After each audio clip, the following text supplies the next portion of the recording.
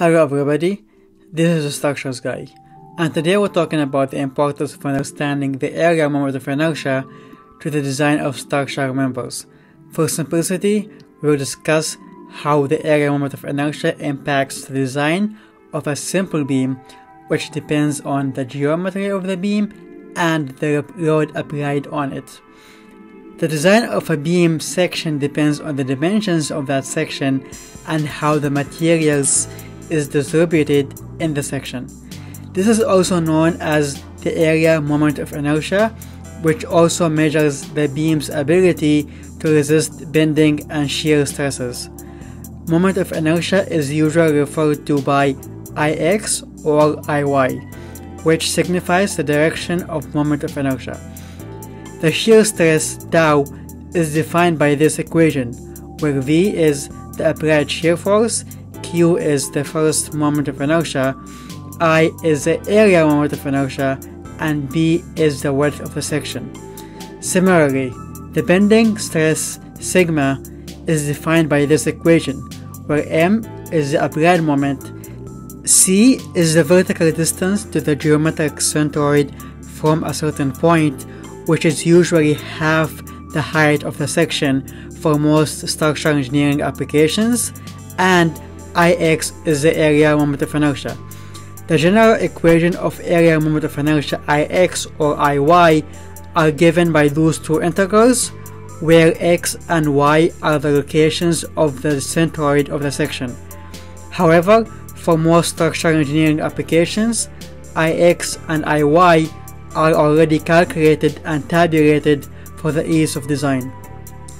You can see that the shear and bending stresses depend on I, the area of inertia.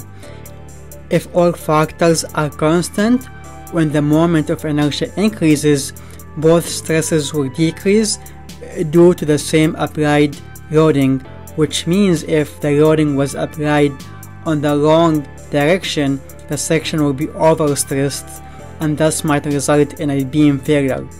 As a result, when a beam is loaded in both directions by gravity and lateral loads, it is important that the area moment of inertia of each direction can take the loading in that direction and the section is not overstressed so that it does not fail under loading and thus understanding area moment of inertia becomes important when designing any structural members. Obviously, for any structural members not to be overstressed, the shear and bending stresses must be less than the maximum allowable stress a material can handle. Those maximum material stresses are known for all materials and can be easily found online or from books. I did some fun home experiments to show how different areas moment of inertia behave under the same loading. For simplicity, we will look at the rectangular section where the area's moment of inertia are those equations, where h is the height of the section and b is the width of the section. For example, let's assume we have a section that is 1 inch wide and 12 inch high.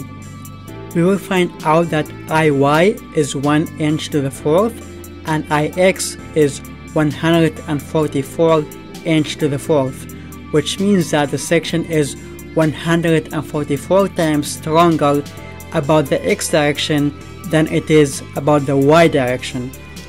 You can see this if you try to bend this straight edge with some force, first in the x direction and then in the y direction.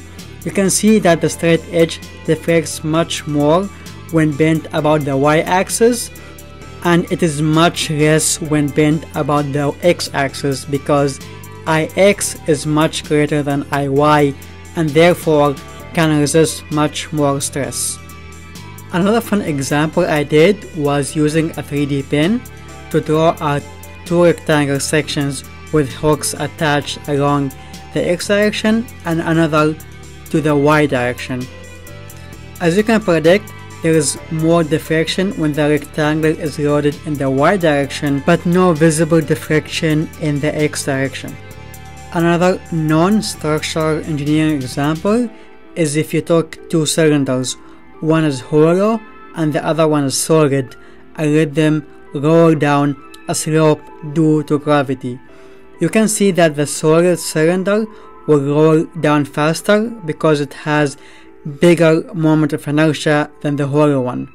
The reason this happens is that the rotational energy is directly proportional to the area moment of inertia.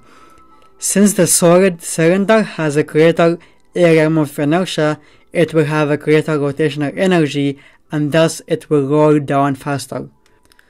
I hope you enjoyed the home experiments I have shown and learned the importance of area moment of inertia. Please subscribe so you don't miss next videos. See you next time.